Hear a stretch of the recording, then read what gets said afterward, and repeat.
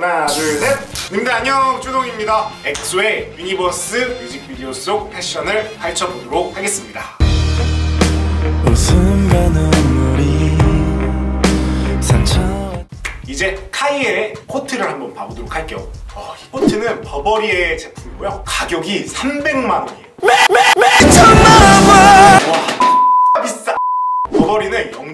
명품 패션 브랜드고요. 이 보이시는 타탄 체크라고 하거든요 이 체크가. 어, 이 체크 무늬로도 유명하고 말 그대로 버버리 코트로도 굉장히 유명한 브랜드입니다. 이 버버리 코트의 시초가 이 버버리 버버리가 버버리. 아 여러분 죄송합니다. 나머지 분들의 의상을 다 찾지를 못했어요. 그래서 제가 준비를 했습니다. 추천 아이템 시간 가지지를 못해가지고 나머지 멤버들의 의상을 저렴이 아이템들로 한번 추천을 해보는 시간을 가지도록 하겠습니다. 박수 박수 박수 빨리 박수. 자 한번 디오부터 봐보도록 할게요. 저희 디오가 입은 코트 보이시나요? 벨트가 달린 코트.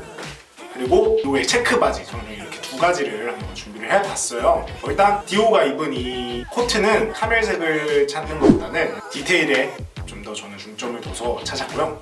어페럴 CC라는 브랜드의 제품이고요. 가격이 11만 원이에요. 그리고 디 바이 디그낙의 제품이고 가격이 27만 8천 원. 이렇게 두 가지 제품을 한번 찾아봤어요 저는.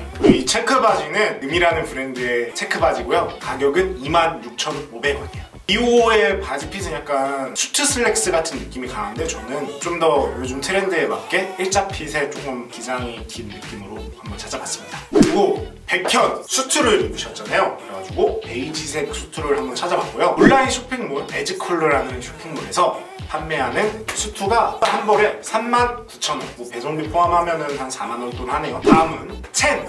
첸님의 의상을 보시면은 바지가 약간 일명 코듀루이라고 하죠.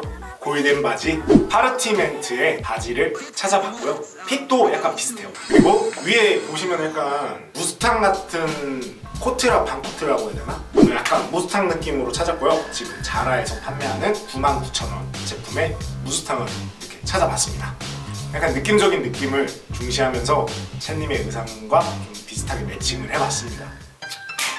자 이렇게 엑소의 유니버스 속 의상을 한번 파헤쳐 봤는데요 이렇게 재밌게 보셨는지 재밌게 보셨으면 좋아요와 구독 한 번씩 눌러주시고요 새해 복 많이 받으시고요 다음 영상에서 만나요 이상 준홍이었습니다 안녕 이번 영상도 봐주셔서 감사합니다. 다음 영상에서 만나요. 안녕!